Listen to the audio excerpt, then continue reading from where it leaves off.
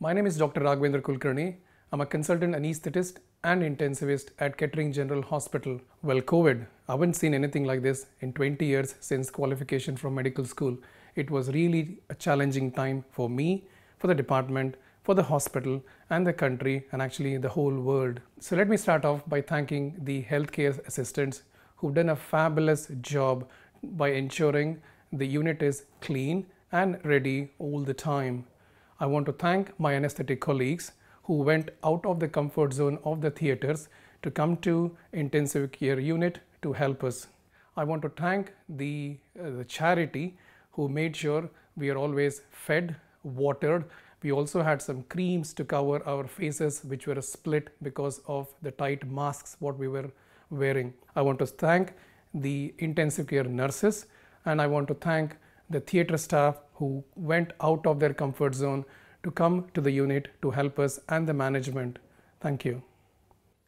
My name is Dr. Dumi Ngomanzi. I'm a consultant in intensive care unit at Kettering General Hospital. COVID 19 taught us two very important lessons good teamworking and being compassionate.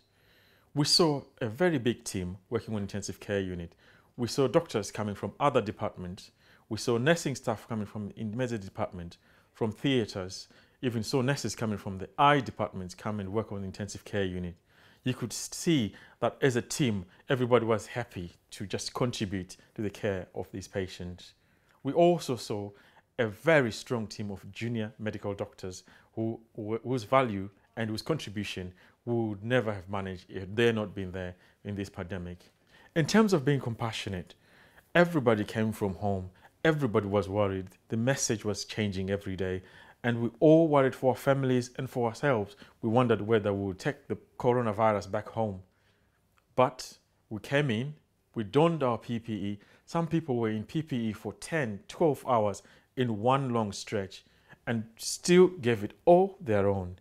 At the end of the day, we all supported each other, helped each other. We are winning the war against this virus. Thank you very much. Just want to say a really big thank you to the ICU team for everything you've done during COVID. You've been amazing. You've supported families and patients, and also to those that came to help you. You've done a great job. Thank you very, very much.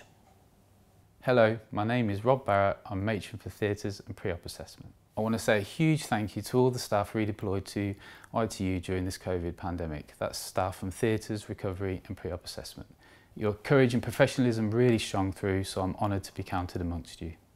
Hello, my name's Karen Kelleher. I'm Associate Divisional Manager for Head and Neck. I, um, I've only been working uh, with the Head and Neck team since November 2019 and although it's been a relatively short period, um, the I found the team to be um, exceptionally supportive.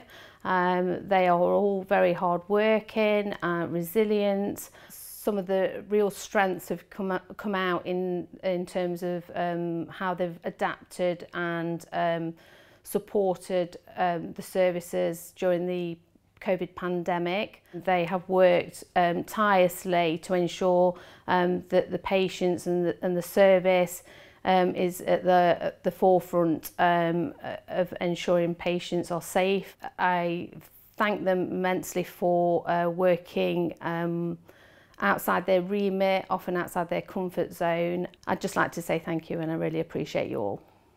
I am so proud to be the matron for head and neck, ophthalmology, ENT, maxillofacial orthodontics, audiology, because all the staff showed compassion, patience, cooperation, and kindness to each other in times of this COVID pandemic. From the bottom of my heart, thank you all. I am also delighted that ophthalmology team won a COVID Cavell National Award for going above and beyond for their patients and colleagues. They were deployed across the trust in other departments with no hesit hesitation and no complaints. I'll repeat, thank you all from the bottom of my heart.